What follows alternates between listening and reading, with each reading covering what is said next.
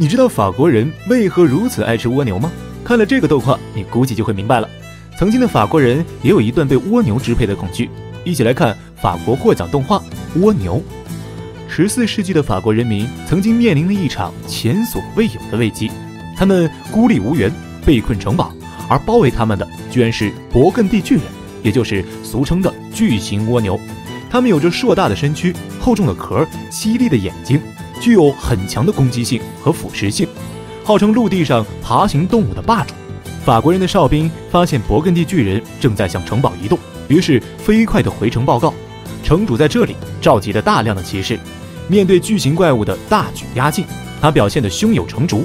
很快点起了军队，排在城墙上严阵以待。可是出人意料的是，蜗牛大军移动得非常缓慢，城墙上的士兵都开始无聊地打起牌了。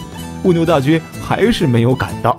到了后半夜，一个士兵从睡梦中惊醒，见到对方终于兵临城墙，他赶紧叫醒周围的伙伴前去应战。一个英勇的士兵站在城墙上振臂高呼，抽出两把锋利的长剑就砍向蜗牛大军。可是下一个瞬间，他就变成了蜗牛的晚餐，被腐蚀的连骨头都不剩了。城墙上的士兵意识到战局的严重性，于是掏出长剑刺向蜗牛大军。可是冷兵器对他们根本不起作用。法国人的后代都明白这一点。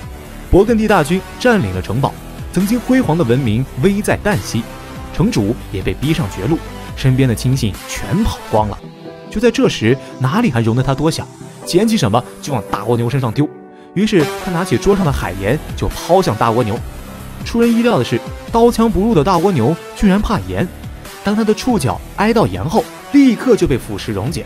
蜗牛壳里一个劲儿的冒泡泡，周围的骑士看到这一幕，纷纷效仿城主。很快，法国人战胜了大蜗牛，城主再次成为人民的英雄。为了庆祝胜利，大蜗牛成了法国人的大餐。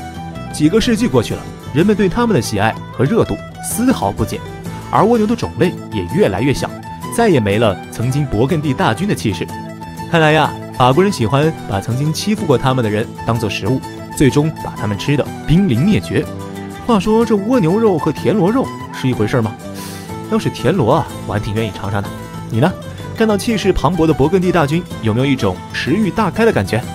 本期就到这里了，欢迎你的关注和订阅，我们下期再见。